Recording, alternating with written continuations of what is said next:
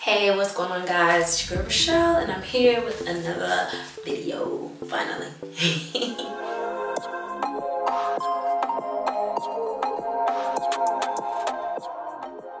so this video, we are going to be doing a three month, three, three month lock update. So I know that I missed the first three months.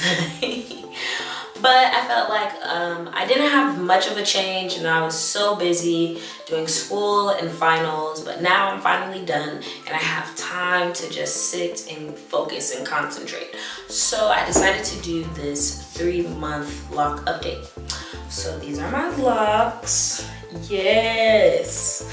Yes. They're flourishing right now so um I really didn't do a two month lock update because I did style over my locks even though I said I wasn't going to do it. But it was the holidays and I was like, oh, I need to look like somebody a little bit. So I did style over my locks. I had um, two strand twists, Bob Marley twists on top of my locks and they were pretty long and I was really scared because I thought they were going to thin out my locks but actually my locks just puffed right back up and it made me really nervous. But I think one of the big reasons why uh, my locks didn't thin out that much for real was because I did not keep this styling for long.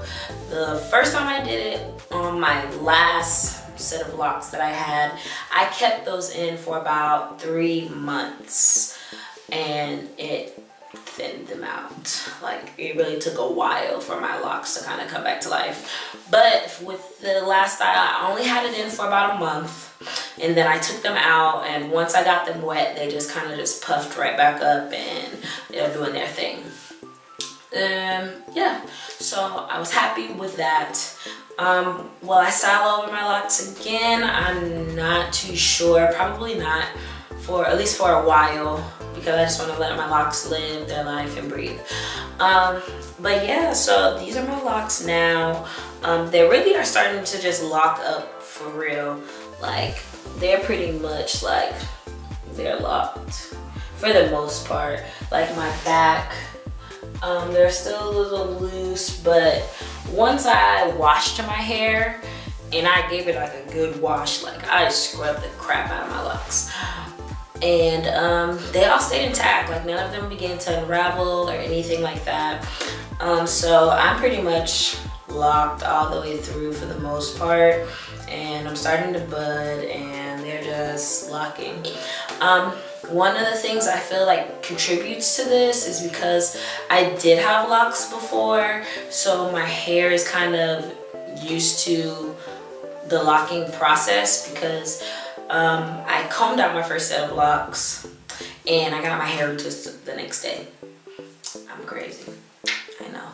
So I feel like it really never had a, like, the chance to kind of be loose and get used to that. I feel like they were just used to just locking up. So right now they're, they're locked pretty much. And I have a good amount of growth. This is my longest lock. It comes down to here. And my locks are just a lot of different sizes like all around. Like in the back I have like really short ones. And like as you can see this one's really long. Um, just because when I do comb out my hair I lost more hair in other places than others. Um, so so far so good. Three months in I'm so excited.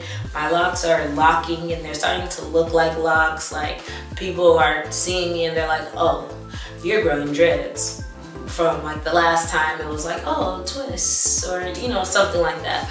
So i'm really excited. Three months in so far and looking pretty good guys. Looking pretty good. Not too much changes. I'll insert a picture of how my locks looked the first day that i got them just so you can see like a compare and contrast so yeah, these are my locks. Thank you guys for watching and I will do another update at four months. I promise I'll do another one.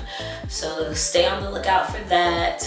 Like, subscribe this video because we will be continuing this lock process. If you guys have any questions, comment down below and I'll see you guys next month. Bye.